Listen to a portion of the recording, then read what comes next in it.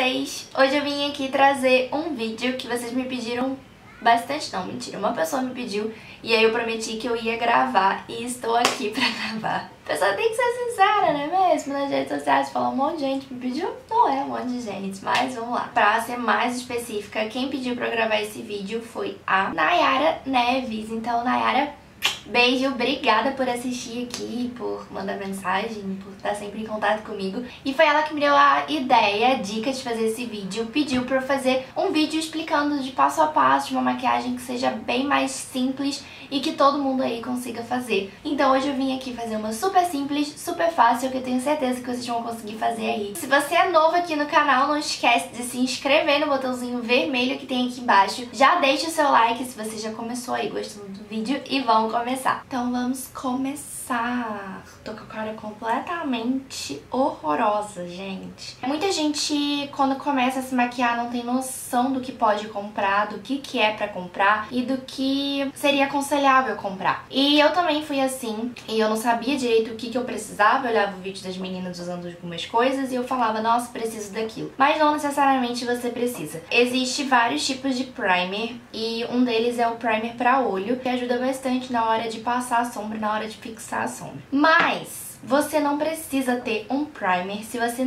quase nunca se maquia, se você tá iniciando, se você não sabe se você vai gostar de se maquiar sozinha. Não é uma coisa indispensável, porque ele fixa a maquiagem, porque ele ajuda a sombra a durar mais e ele também pigmenta um pouco mais a sombra. Mas a gente consegue usar alguns outros truques pra camuflar, assim, essa falta do primer e poder colocar outro produto ali que vai ajudar também, vai fazer um efeito muito parecido com o primer. Eu vou usar esse corretivo corretivo aqui da The Balm, ele é o Team Balm. Ele tem uma textura assim um pouquinho mais cremosa, sabe? Que isso vai ajudar a sombra a ficar um pouquinho mais pigmentada e ficar mais tempo também. Eu vou pegar um pouquinho assim com o dedo e aplicar. Sem medo de ser feliz, gente. E eu vou passar um pouquinho aqui também porque a gente vai utilizar essa área. E aí, tá vendo? Eu passei na pálpebra toda, desde a sobrancelha até aqui rente aos cílios agora eu vou dar uma dica pra vocês, que é nunca aplicar uma coisa em pó que você queira esfumaçar por cima de alguma coisa que você aplicou cremosa ou líquida. O ideal é você aplicar um pó logo depois. Então eu vou pegar um pó compacto mesmo, mas você pode pegar uma sombra que seja da cor da sua pálpebra e aplicar em toda a pálpebra. Eu pego um pincelzinho assim de esfumar, um bem gordinho, e começo a aplicar na pálpebra toda.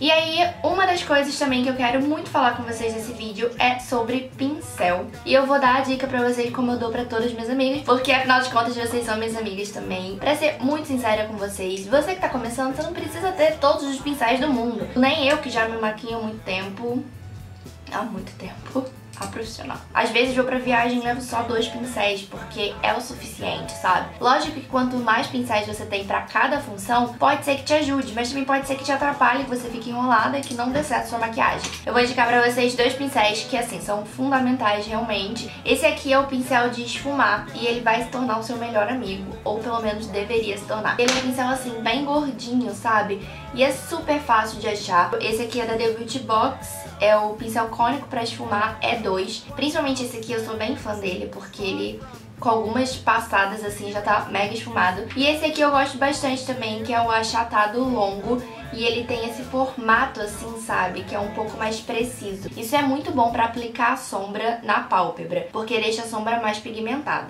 Vou começar então com a sombra. Eu vou usar essa paleta aqui da The Balm também, mas você pode usar qualquer coisa que você tem em casa. Gente, sombra, você pode pegar até um blush de contorno pra fazer. E aí eu vou pegar essas duas aqui, vou fazer uma misturinha. E aí a gente vai começar a marcar agora o olho, marcar o côncavo. Aperta aqui e você vai sentir esse ossinho ossinho. Esse ossinho é o seu côncavo. E com o pincel de esfumar já, eu vou marcar todo o côncavo. Eu só vou aplicar aqui a sombra, ó. Achei o côncavo, vou vir pra cá com esse movimento. Marca ele e aí agora sim, você vai começar daqui fazer movimentos pra cá, pra esfumar. Movimentos assim sempre pro lado de dentro. God feeling, God feeling, God feeling.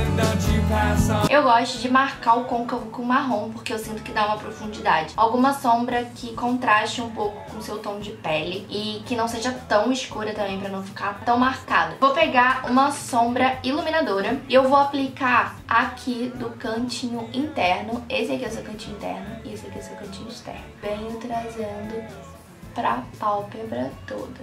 Eu tô misturando a sombra clarinha que eu passei com a sombra anterior. Vou vir com um pincelzinho de esfumar de novo pra esfumar esse encontro que eu fiz. Com esse pincel aqui, eu vou pegar uma sombra marrom, um pouquinho mais escura. Eu gosto muito de fazer um Czinho aqui no canto externo do olho, porque eu sinto que isso abre um pouco mais o olhar, sabe? E aí não precisa ser nada demais, é só um toquezinho assim, bem rente aos cílios e sobe no côncavo. De novo com o pincel de esfumar, que eu disse que ele ia ser seu melhor amigo, eu vou esfumar essa sombra um pouquinho. Então, ó, pega no final do cabinho. Quanto mais perto aqui do cabinho, mais força você faz. E aí com pincelzinho assim de precisão, eu vou pegar essa última sombra que a gente usou, a mais escura, e vou passar rente aos cílios, que isso abre um pouquinho o olhar. Mas eu não venho até o final, é só até o meinho do olho. Eu tenho essas duas canetinhas aqui, essa aqui é uma caneta delineadora e essa aqui é um lápis de olhos marrom NYX da disse Berenice. E aí dá pra você fazer com a caneta marronzinha só aqui no cantinho externo, marcando um pouquinho, sabe? Também dá pra você fazer com a caneta delineador. Super fácil, você vai fazer a mesma coisa que eu fiz Na hora de você passar a base, você passa aqui sem tirar a sombra rente aos cílios, por isso que não tem problema se ela vier muito pra fora. E aqui também, ó. E aí você segue o caminho da sua sobrancelha. Então é isso, pessoal. Eu espero muito que vocês tenham gostado desse vídeo, que consigam aproveitar aí as minhas diquinhas e que consigam fazer essa maquiagem. Se você conseguir, compartilha comigo, tira uma foto, me marca lá no Instagram ou me manda por direct, que eu vou amar ver. E a gente se vê no próximo vídeo. Beijo!